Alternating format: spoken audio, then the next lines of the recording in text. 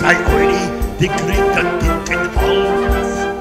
Wenn er sauft, dass ihm die Luft ausgeht. Auf geht's, ihr Brüder. Am 14.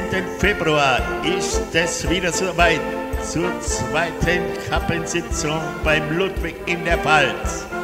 Der Ludwig mit seiner aufreizenden Gattin und dem gesamten Team lädt herzlich ein.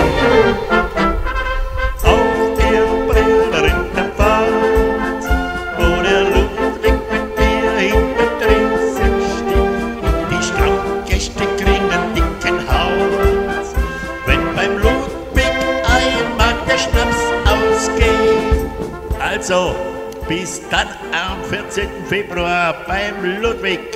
Bringt einen guten Durst und Stimmung mit. Prost!